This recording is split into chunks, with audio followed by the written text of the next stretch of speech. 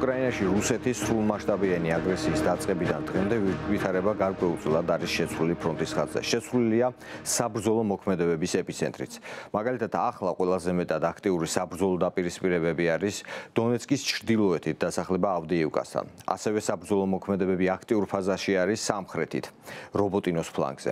დღევანდელ მიმოხილვაში ვისაუბრებთ სწორედ ფრონტის ამ მიმართულებებზე და გაჩვენებთ თუ რა ვითარებაა დღეს იქ შექმნილი.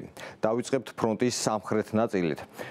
უკრაინისტვის სამხრეთ მიმართულებას განსაკუთრებული მნიშვნელობა ჰქონდა, რადგან წარმატების შემთხვევაში უკრაინის არმია ფრონტის ამ მიმართულებაზე გაჭრის შემთხვევაში გადიოდა აზოვის ზღვაზე, ხდებოდა გარკვეულწილად ბლოკირება ოკუპირებული ყირიმის და ეს იქნებოდა უდაოდ წარმატებული სვლა უკრაინის არმიისთვის. როგორც ჩანს, ეს რუსეთის თავდაცვის უწყებასაც ესმოდა კარგად და აცნობიერებდა ამ მომენტს და რუსეთის აგრესიის დაწყებიდან მალევე ფრონტის ამ მიმართულებაზე სიღრმეში უკიდურესად რთული საფორტიფიკაციო ნაგებობები განათავსა რუსეთმა, რომლის გადალახვაც დღესდღეობით უწევს უკრაინის შეიარაღებულ ძალებს. როგორც ხედავთ, ფრონტის ძირითადი მიმართულებები უკრაინის არმიის განმათავისუფლებელი შეტევის დაწყების დღიდან იყო ფრონტის სამხრეთ მიმართულება, სადაც გარკვეული წარმატებაც ჰქონდათ მიღწეული უკრაინის არმიას და აღმოსავლეთით ავდეივკისა და ავდეივკისა და ბახმუტის მიმართულებით. თუმცა ბოლო პერიოდში ბახმუტის აქტიური საბრძოლო მოქმედებები მართალია გრძელდება, თუმცა მოსახლეობის და საზოგადოების ყურადღება ჩერდება ახლა ავდიივკის ფლანგზე, სადაც განსაკუთრებული აქტიური საბრძოლო დაპირისპირებებია. მე ხლა გიჩვენებთ უფრო ახლოდან რობოტინოს ფლანგს, რომ წარმოდგენა შეგვექმნას თუ რაზე არის საუბარი, როგორ ტიპის საბრძოლო დაპირისპირებებზე. რობოტინოს მიმართულებით ჩვენ გვაქვს ასეთი სიტუაცია, რომ უკრაინის არმიამ თავად რობოტინოსთან გარკვეული ადგილები გაათავისუფლა, ასევე გაათავისუფლა ადგილები რივნოპილის მიმართულებით. თუმცა როგორც ხედავთ, ეს გრაფიკული სურათი მოამზადეთ ჩვენ ომის შემსწავლელი ინსტიტუტის მიერ მომზადებული ანგარიშების საფუძველზე. აქ დატანილი არის რუსეთის თავდაცვის ზღუდეები, რომელიც უკავშირდება გენერალ სუროვიკინს, რომელიც გარკვეულ პერიოდში იყო რუსეთის საოკუპაციო არმიის ხელმძღვანელი უკრაინის საბრძოლო კამპანიის დროს, საბრძოლო მოქმედებების დროს, სწორედ სუროვიკინის ხაზე ხაზი ეწოდება იმ სანგრებისა და ტრანშეების თხრილს, რომელიც ფრონტის ხაზის გასწრუ არის, თითქმის მთლიან პერიმეტრზე სამხრეთით და ასევე გარკვეულ დასახლებულ ობიექტებზე წრიულ თავდაცვას უზრუნველყოფს. მაგალითად ომის შემსავლელი ინსტიტუტის ანგარიშის მიხედვით ტოკმაკი რომელიც ერთ-ერთი მნიშვნელოვანი დასახლებაა ფრონტის სამხრეთ მიმართულებაზე მთლიანადაა ასე ვთქვათ წრეში მოქცეული რუსული თავდაცვის ზღუდეების.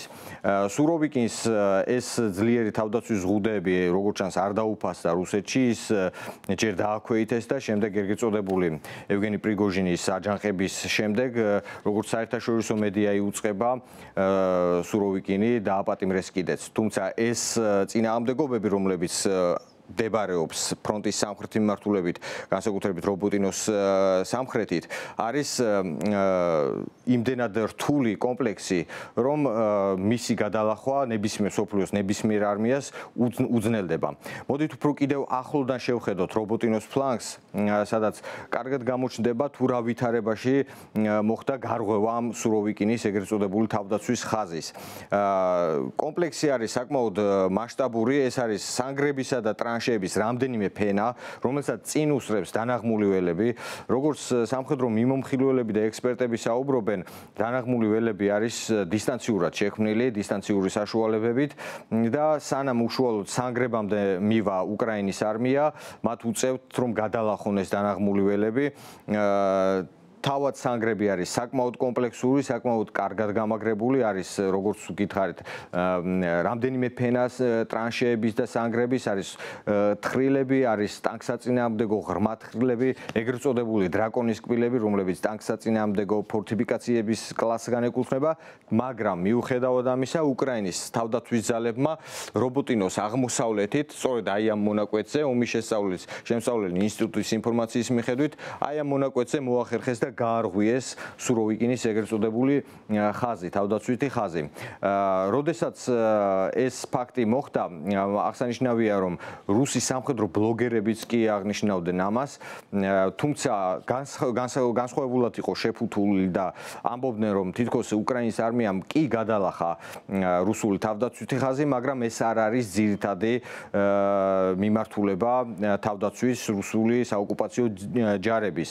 როგორც ჩანს, მალევე მოხდა კომპენსირება და რუსეთის საოკუპაციო ძალებმა. ქალაქ ტოკმაკსა და რობოტინოს შორის დაამატეს თავდაცვითი ზღუდეები და ასე ვთქვათ კომპენსირება მოახდინეს იმ მონაკვეთის დაკარგვის, რომელიც უკრაინის არმიის ძლიერმა შეტევამ გაარღვია.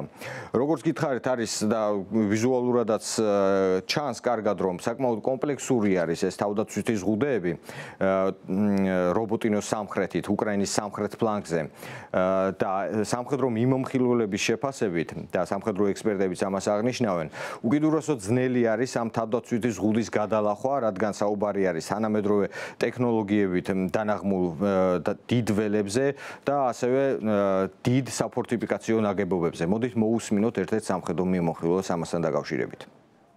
რამდენიმე შრიანი კომბინირებული წინაღობების ქსელი არის შედგება რა თქმა უნდა ესეთი კლასიკური ტიპის საფორტიფიკაციო ნაგებობებისგან, როგორებიც არის სანგრები, სანგარსავალები, ტრანშეები, დოტები, ძოტები და ასე შემდეგ.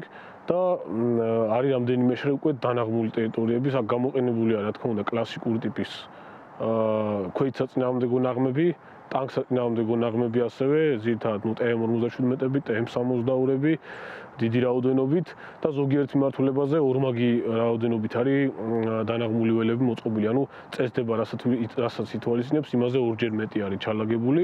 გადალახვა ურთულესი არის, ეს არის მოცემულობა და არც ერთი ქვეყნის შეერაღებულ ძალებს ეს მარტივად არ შეუძლია ასეთი ტიპის ნაგებობების გარღვევა და ასეთი თავდაცვითი შორის ესე სწრაფი გარღვევა. ზოგადად პირველი და მეორე მსოფლიო ომებისგან განსხვავებით, თანამედროვე ბრძოლის ველი გაჯერებული არის შედარებით უფრო მაღალ ტექნოლოგიურ საშუალებებით და ნაღმები, ტანკსაწინააღმდეგო მართოდის არაკეტო კომპლექსები, სხვადასხვა ტიპის საინჟინრო ნაგებობები და წინაღობები, რომელიც ფაქტიურად თანამედროვე არმიების შეარაღებაში არსებულ ჯავშან სატანკო გამრღვევ ასე ვთქვათ ნაწილებს შანსს არ უტოვებს ექსპერტების შეფასებით უკრაინისთვის და ასევე შემტევი აგრესი აგრესორი ძალებისთვის ეს ომი შესულია ახლა გამოფიტვის ფაზაში.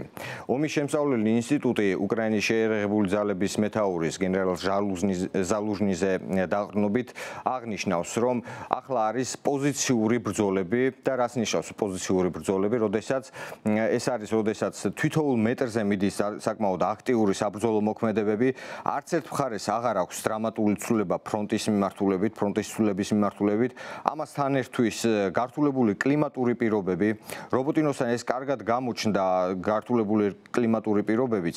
აქ უკვე დიდი ხანია ბრძოლა თითოეული მეტრის მეტრისთვის მიდის და მნიშვნელოვანია რობოტინოს აღმოსავლეთით დასახლება ვერბოვესთან ბრძოლები აქ რამდენჯერმე დაკარგეს რუსებმა პოზიციები, თუმცა უკრაინულ არმიასაც ასევე არ ქონია წინსვლა.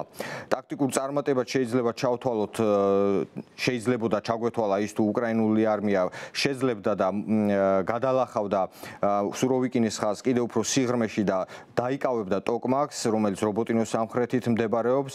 როგორც ომის შესწავლელი ინსტიტუტი იუწყება, გენერალ ზალუჟნის მომზადებული აქვს სპეციფიური ტაქტიკური გადაწყვეტილებები, რომ დაძლიოს ის ფაქტორები, რამაც ეს პოზიციური ბრძოლის პირობები შექმნა და ამით დაიძლიოს სამხედრო პარიტეტი რუსეთთან, გარკვეულად შეიცვალოს ბალანსი რუსეთის საოკუპაციო ძალებთან მიმართებაში და შეტევა იყოს უფრო წარმატებული და ამ ფრონტზე სამ ფრონტის სამხრეთ მიმართულებაზე ამ ხრივ ვითარება ჯერჯერობით არის იგივე რაც რამდენიმე კვირის განმავლობაში იყო აქვს გარკვეული წინსვლა უკრაინის არმიას მაგრამ მნიშვნელოვანი დრამატული ცვლილება არ არის. ახლა გადავიდეთ ფრონტის აღმოსავლეთ მიმართულებაზე როგორც გითხარით. თუ კი გასული კვირების და თვეების განმავლობაში ბახმუთთან იყო ძირითადი საბრძოლო დაპირისპირებები ბახმუთთან ახლაც გრძელდება ძირითადი საბრძოლო დაპირისპირებები თუმცა ყველაზე აქტიური სამ სამხედრო მოქმედებები მიმდინარეობს დონეცკის ჩრდილოეთით დასახლება ავდიევკასთან. ეს დასახლება არის ასე ვთქვათ ქალაქ დონეცკთან ძალიან ახლოს და ამ მომენტისთვის, ამ მომენტისთვის დასახლება სამი მხრიდან არის რუსული ცეცხლის ქვეშ მოქცეული. აქ ყოველდღიურად, როგორც უკრაინის თავდაცვის ძალები უძღება რუსეთის საოკუპაციო ძალები, ასობით სამხედროს კარგავენ, ასობით ჯავშან ტექნიკა ფეთქდება ავდიევკასთან ბრძოლისთვის, ბრძოლაში, მაგრამ მიუხედავად ამისა, რუსები არ ცვლიან ტაქტიკას და ექსპერტების შეფასებით ბრძოლა ავდიევკისთვის დაახლოებით ბახმუტის ბრძოლას გავს, როდესაც რუსებმა ფლანგიდან შეუტიეს ქალაქს, მოაქციეს უკრაინული ძალები გარკვეულწილად ალყაში და აიძულეს რომ უკან დაეხიათ. ახლაც როგორც ხედავთ არის მსგავსი სიტუაცია, რუსები უტევენ ძირითადად ჩtildeოეთიდან, ფლანგი ფლანგიდან უტევენ. აქ ჩtildeოეთში არის ერთი მნიშვნელოვანი ობიექტი, ეს არის არის სიმაღლე რომელსაც ტერიკონს უწოდებენ და ბოლო პერიოდში გავრცელდა ინფორმაცია, რომ ეს ტერიკონი აიღეს რუსებმა, თუმცა ეს ჯერჯერობით ოფიციალურად არ არის დადასტურებული, მაგრამ წინა პერიოდში ტერიკონი იყო ეგრეთ წოდებულ ნაცრისფერ ზონაში, რაც ნიშნავს იმას, რომ არც ერთ მხარეს არ ქონდა ეს სიმაღლე დაკავებული. მნიშვნელოვანია ამ სიმაღლის დაკავება, რადგან აქედან უფრო იჭრება, ასე ვთქვათ, საბრძოლო მოქმედებებისთვის შესაძლებლობები იხსნება ახალი მაგრამ ავდიივკასთან რომ რუსებს გარკვეულწილად წარმატება აქვს, ამას აღნიშნავს სხვადასხვა მაგალითად ომის შემსწავლელი ინსტიტუტის სხვადასხვა ექსპერტიც მიუხედავად იმისა, რომ მათ აქვს ძალიან დიდი დანაკარგი. აა ავდიუკისთვის ბრძოლა ასევე ამერიკის შეერთებული შტატების თეთრი სახლის ყურადღების ქვეშაც მოიქცა.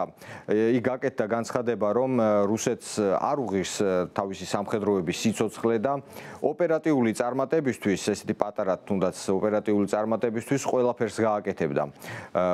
რუსეთი რომ თუნდაც ავდიევკა მოექცია ალყაში და შემდეგ აეღო.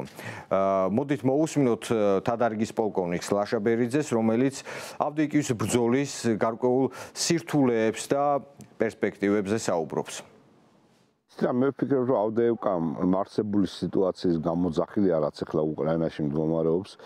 ერთი რომ რუსეთს მიეცა საშუალება რომ ამოესუნთქა ამ თავდასვაში გამაგრებამ და შეიარაღების არ ქონამ უკრაინისტვის ამ შეიარაღების სიმცირე მათ საშუალება მიეცა გადაჯგუფებულიყო რაღაც სწორი დასკვნები გამოეტანა და ეხლა რასაც ავდეევკაზე ვხედავთ ზუსტად იგივე ტალღური შეტევაა რასაც ჩვენ ვხედავდით ბახმუტზე რა. კი დანაკარგები დანაკარგები დანაკარგები მაგრამ ეს დანაკარგები მიუხედავად ნელ-ნელა ანუ ნელ-ნელა ნელ-ნელა ცდილობენ რომ წინ წაიწიონ.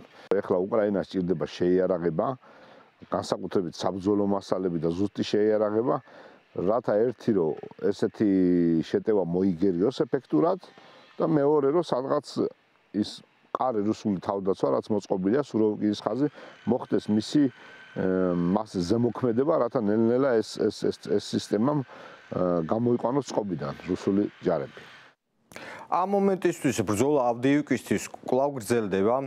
როგორც ომის შემსწავლელი ინსტიტუტის ანგარიში ბოლო ანგარიში აღნიშნული, რუსები შესაძლოა კვლავ ამზადებდნენ ახალ ტალღას. ავდიივკის ალყაში მოსაქცევად. და ეს არის საკმაოდ რთული სამხედრო დაპირისპირება ფრონტის ამ მონაკვეთზე. როგორც ჩანს, რუსეთს რუსეთი ცდილობს გამოიყენოს უპირატესობა, ასე ვთქვათ, ცოცხალი ძალის ეფექტით. და ამ მოცემულობაში ჩვენ არაერთხელ მოვისმინეთ როგორც ექსპერტებისგან, ასევე უკრაინის პრეზიდენტისგან ვოლოდიმირ ზელენსკისგან რომ მნიშვნელოვანია ფრონტის სულებისთვის, წარმატებისთვის ახლა უკრაინას დამატებითი შეიარაღება მიაწოდოს დასავლეთმა. სწორედ ამას აღნიშნავდა უკრაინის შეიარაღებული ძალების მეტაური გენერალი ზალუჟნიც, რომ უკრაინას ახლა ჭირდება დამატებითი შეიარაღება.